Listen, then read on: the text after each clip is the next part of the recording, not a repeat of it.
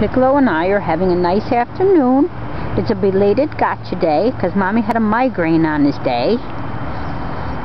We did some things, but not all the fun things. Not like today. Where's you going, Pico?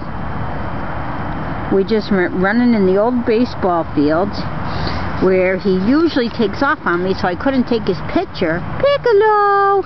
He hates the camera. Piccolo! Can you look at Mommy? Hi, baby. We might be able to get a reaction out of him with one of his favorite things. Hey, Piccolo, you want a treat? Do you want a treat? You are handsome. Would you like to have a treat?